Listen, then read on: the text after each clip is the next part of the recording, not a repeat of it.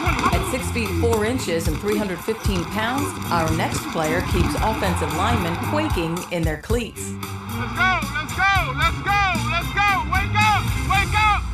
The moment I met him, he was like the biggest human being I've ever ever seen. He's absolutely huge, but he's so humble. At Temple, I looked up to him.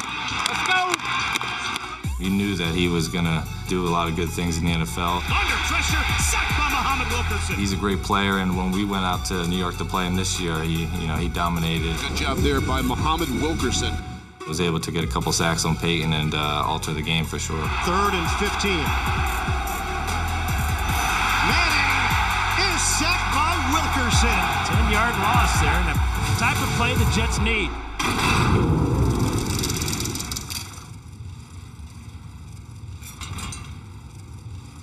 Whenever he's out there on that field, the game changes drastically. You know, uh, you got to make sure you account for him because at any given moment he can change the game. Roethlisberger, a little wide receiver screen, caught, and fumbling the football's Brown. It's picked up by the Jets. Antonio Brown coughed it up. What a play by Muhammad Wilkerson.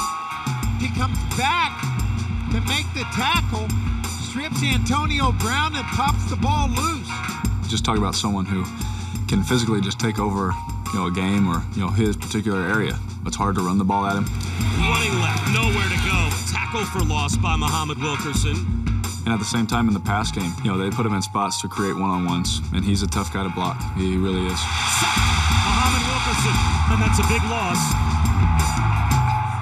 You got those guys that are so big, but then they can get out there and play defensive end. They can go inside and play D tackle.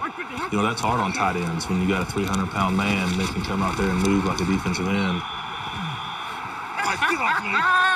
He's elite. He's one of those guys that, you know, is bigger and stronger and his arms are longer and, you know, he's hard to get your hands on and, and hard to uh, hard to win against. It take two of y'all to block me. You're supposed to be the best. Come on, no, we got we need one on ones. He's supposed to be the best, so sometimes you got to put two people on him. You're supposed to be one of the best players in the league. That's the softest effort I I've ever know, seen in my I life. know, I know. You know why? Cause they ain't running the ball over here, cause you can't block. I told him that's what I said. You, you're the best. You're not, you're not supposed to get blocked by one guy. Just like J.J. Watt, the guy can play outside and inside. Um, first step quickness is killer, man. Um, the guy sees things before the ball is snapped, and he's in the backfield before you know it.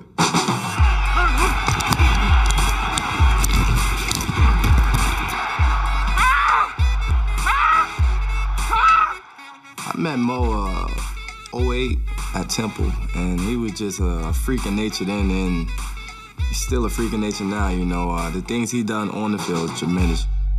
That's a man right there. He won to win. He won to win. This is the second straight year that Muhammad Wilkerson was voted onto the top 100 list. Yet after four successful seasons, he is still looking for his first Pro Bowl selection.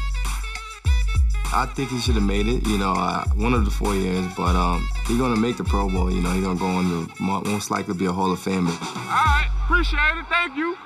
Thank you. Selected in the first round of the 2011 draft, Wilkerson has developed into one of the most exciting players to watch at his position.